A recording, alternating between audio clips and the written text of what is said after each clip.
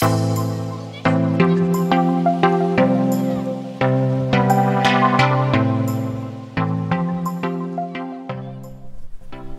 ดีครับทุกท่านวันนี้เรามาพบกับเหยื่อ Carpenter Bluefish นะครับเอ่ออย่างที่ผมแจ้งทราบไปว่าผมจะมาสาธิตนะครับการใช้งานเหยื่อนะครับวันนี้ก็มีนะครับ Bluefish ไซส์ร้อย นะครับ ที่ผมจะมาสาธิตให้ทุกท่านได้ดูว่า วิธีการใช้งานเหยื่อเนี่ยมันใช้ยังไงนะครับ มันต้องว่ายยังไงคันเบ็ดต้องเป็นยังไงนะครับ สายต้องเป็นยังไงนะครับเดี๋ยวผมจะมาสาธิตให้ดูก่อนอื่นเลยเนี่ยบูฟิตเนี่ยนะครับเป็นเหยื่อที่ว่ายได้ง่ายนะครับจากจากค่าย Carpenter นะครับ ไซส์เนี่ยมีตั้งแต่ 30 กรัมนะครับ45 กรัม 60 กรัม 75 กรัม 100 กรัมนะครับเหมือนตัวนี้นะครับ แล้วก็ 120 กรัม และไซส์สุดท้ายที่เพิ่งจะออกมาได้ไม่นานก็คือไซส์ 160 กรัมนะครับในเวลานี้ผมก็ได้ทราบมาว่าข่าวที่ออกมาคือตอนนี้ทาง Carpenter กำลัง test นะครับไซส์ 200 กรัมอยู่ซึ่งก็ไม่ทราบว่าจะเป็นยังไงนะครับ แต่ถามว่าไซส์ที่ผมชอบมากที่สุดเนี่ยคือจะเป็นเป็นไซส์ร้อยกรัมนะครับเหยื่อ Carpenter เนี่ยเอ่อเหยื่อเหยื่อบูฟิตเนี่ยนะครับ ก็จะมี recommendation นะครับว่าต้องใช้ตัวเบ็ดแล้วใช้ split ring เนี่ยไซส์อะไรบ้างนะครับสำหรับแต่ก่อนแล้วเนี่ยเขาก็จะมีบอกว่าเป็นตัวเบ็ดกี่ O นะครับพอช่วงหลังมาเนี่ยนักตกปลานะครับชอบใช้ตัวเบสซิงเกิลมากขึ้นนะครับไอตัว recommendation ที่เป็น 3 OC O 5 OO เนี่ยมันก็จะใช้ไม่ได้แล้วนะครับเพราะว่าเราทราบกันอยู่ว่าไซส์มันไม่เท่ากันนะครับ ของอระหว่างระหว่าง 3 ทางกับกับ single hook นะครับ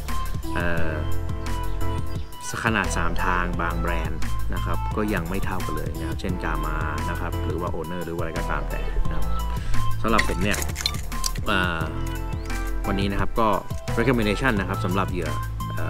ปูฟิตร้อยกรัมก็คือsingle hook 9กรัมนะครับทั้งหมด 2 ตัวนะครับ ตัวเบ็ดที่ผมมาใช้วันนี้คือกามานะครับกามา GT Recorder นะครับไซส์ 4O นะครับซึ่งมีน้ำหนักที่ 8.9 กรัมนะครับ recommendation split ring นะครับทางทาง Carpenter ก็คือ 250 ปอนด์ตัวนี้ก็เป็น decoy 250 ปอนด์นะครับโอเคนะครับ เดี๋ยวผมจะมาสาธิตวิธีการใช้งานเหยื่อตัวนี้ให้ทุกท่านได้ดูนะครับคันที่จะเอามาใช้เหยื่อนี้นะครับ ก็จะเป็นคัน PBL 80 30 ซึ่งมี recommendation นะครับ ที่ maximum เหยื่อ140 กรัมนะครับเหยื่อตัวนี้ 100 กรัมบวกตัววงตัวเบ็ดแล้วแล้วก็จะประมาณนะครับ 130 140 กรัมนะครับ เดี๋ยวเรามาดูกันนะครับ ว่าวิธีการใช้งานเหยื่อตัวเนี้ยต้องใช้ยังไง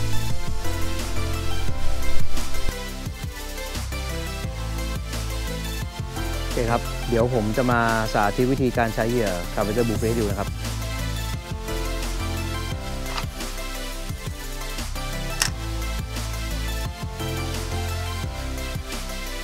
สิ่งแรกเลยนะครับสำหรับการใช้เหยื่อ Carpenter Bluefish หรือ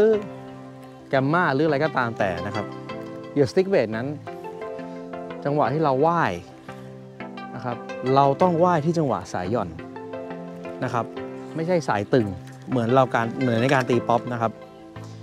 สังเกตดูว่า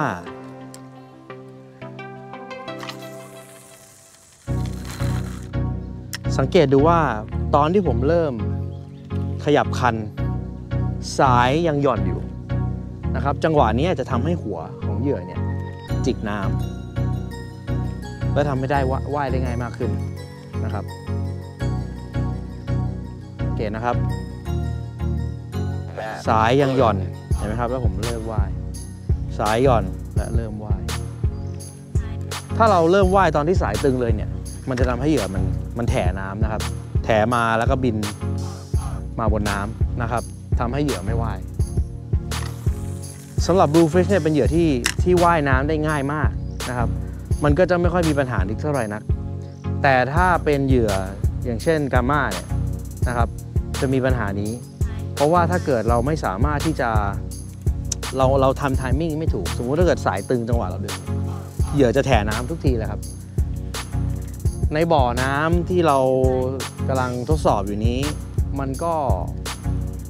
ไม่มีลมไม่มีคลื่นนะครับ มันก็จะทำให้การใช้งานเนี่ยง่ายขึ้นนะครับ แต่ถ้าเราไปในทะเลก็จะมีลมมีคลื่นนะครับ มันก็จะใช้งานได้ยากขึ้นกว่าเดิม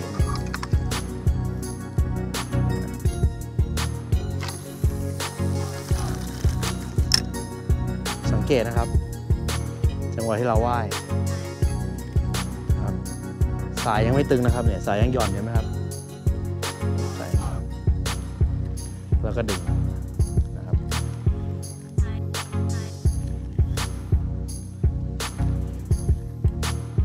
เห็นไหมครับ เสร็จแล้ว หลังจากที่เราได้ฝึกฝนได้ในระดับหนึ่งแล้วนะครับ เราสามารถทำให้เหยื่อตัวเนี้ยว่ายช้าหรือว่ายเร็วก็ได้นะครับ หลาย ๆ จังหวะที่เราไปตกปลาเนี่ยบางทีปลาเนี่ยเข้าชาร์จเหยื่อนะครับ บางทีว่ายเร็วก็ไม่ทันนะครับว่ายช้าเกินไปเหยื่ออาจจะไม่ว่ายน้ำน้ำก็ทำให้ปลาเนี่ยไม่สนใจเลย วิธีการก็คือเราต้องว่ายเหยื่อให้ช้าที่สุด แต่เหยื่อจะต้องมี action นะครับอย่างนี้นะครับ ซึ่ง เหยื่อว่ายน้ำปกติ ว่ายในระยะสั้นนะครับ แล้วก็ยังมี action นะครับ หลังจากที่เราสามารถ timing เรื่องสายเรื่องความหย่อนของสายได้แล้วนะครับ เราก็จะสามารถทำได้ทั้งเร็วทั้งช้าทั้งอะไรก็ตามแต่นะครับเดี๋ยวเรามาดูเร็วบ้างกี่ช้านะครับ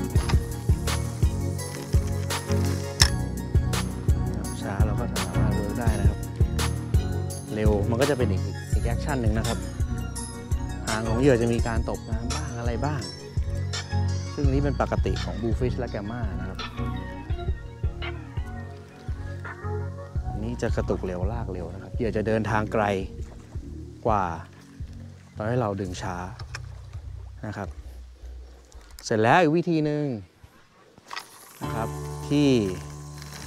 หลายๆคนที่รู้จักนะครับ ผมชอบเล่นก็คือเรื่อง หลังจากที่สามารถรู้เรื่องได้แล้วทำได้ดีแล้วเราก็กรอด้วยนะครับลากให้เร็วแล้วก็กรอด้วยนะครับเหยื่อก็จะเดินทางไกลกว่าเดิมอีกนะครับแล้วก็จะมี action บนผิวน้ำที่แปลกไปอีกอย่างหนึ่งนะครับ ก็คือซิกแซก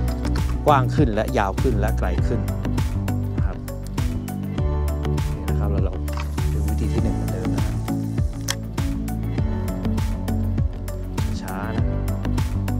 สั้นๆครับ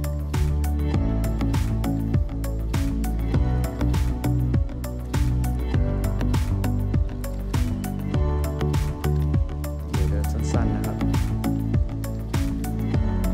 เสร็จแล้วก็ จะเป็น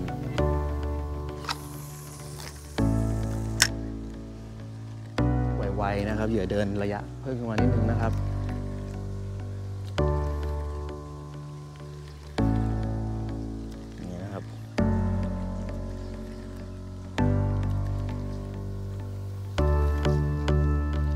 สุดท้ายก็คือการ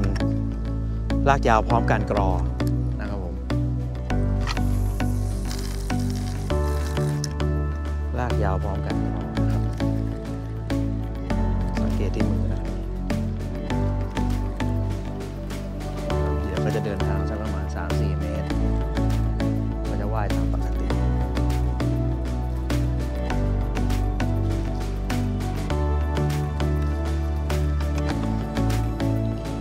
นี่ก็คือวิธีการนะครับ work gear carpenter bullfit ครับขอบคุณครับ